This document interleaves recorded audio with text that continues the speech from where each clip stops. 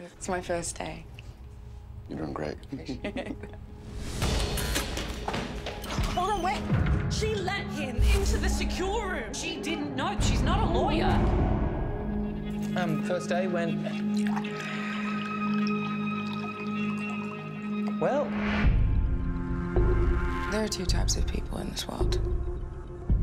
Those who think family violence would never happen to them. And those who know it can happen to anyone.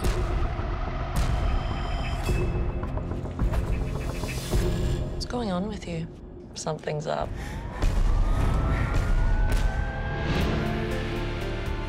You need to learn to keep your mouth shut.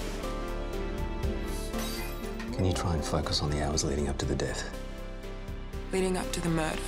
New Australian drama, Safe Home, starts 11th of May on SBS and on demand.